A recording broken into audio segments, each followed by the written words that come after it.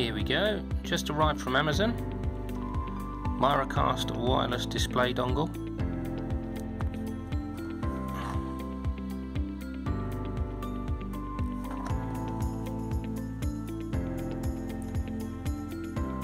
Now this should allow you to uh, mirror what's on your phone, um, i.e. pictures, that type of thing, without having to connect a lead to the TV or take out your SD card. You can also um, cast or transmit, if you like, using wireless to the TV um, any videos you like, really, be it YouTube, uh, things from Facebook, um, films that you've got stored, um, personal uh, videos of your family videos, that type of thing, anything like that, where you would normally have to put it onto a hard drive and connect it to the TV, put it onto a DVD, whatever. Um, you literally can just transmit it to the television wirelessly. Right, let's have a look and see what's in the box. We've got the dongle itself.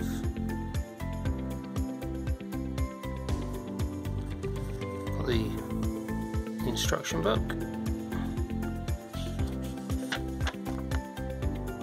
Tells you what you can do, how to do it.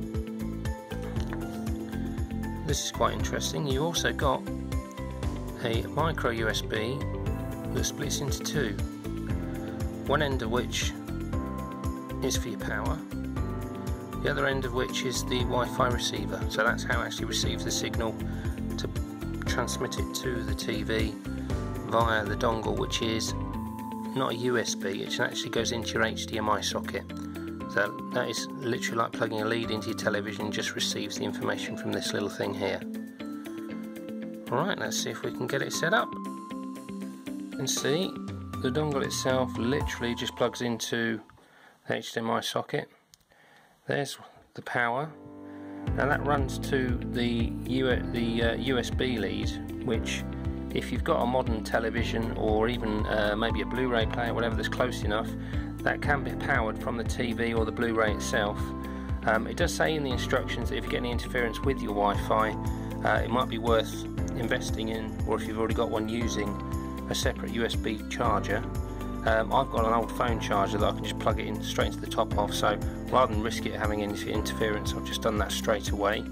And as I said, the other end of that lead goes to the Wi-Fi receiver. Right, let's uh, see how we get on on the television. When you first plug it in, you just turn your TV to the input, whichever HDMI socket, i.e. HDMI 1 or 2, whatever, whichever one you plugged it into, and uh, once it's powered up, that's exactly the screen you'll get. Now to run it, you need the software, um, which is essentially like a, an operating system, EZCast. Now that you can either scan on the screen there, you can see the little square there, and it will come up with, um, if it's an Apple product, obviously it'll go to iTunes or the iStore, uh, Windows or your Google Play uh, to, to download the information. Now you can also download the same information by going to the EZCast website on your laptop or computer. Right. once you've uh, downloaded the software, you'll have your EZCast icon. Click on that, takes you to the EZCast screen. From there, the bottom one is for, for cabled uh, connection, but we we want to use the casting. And it will look for, there we go, there's the receiver in the back of the television. Then you would have to put in your password, and away you go. Right, let's see if it works. Incidentally, in the initial setup, I would recommend definitely getting the app for your phone, uh, be it a, a, a, an Apple phone or, or an Android, um, just purely because there's a lot more control with your phone and it's handy because you can just cast your pictures from here if you want to or, or videos from it that you've taken on your phone as well.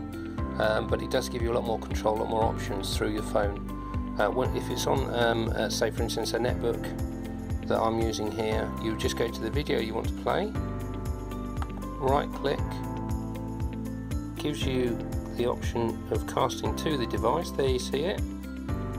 click on there and it should come up with a player. There's the player. Sometimes it will buffer to begin with, but there we go. Casting brilliantly, you wouldn't know. While there, as I said, sometimes it buffers just a, a smidgen to get ahead of itself, and then the program will start, and away you go. Lovely piece of equipment.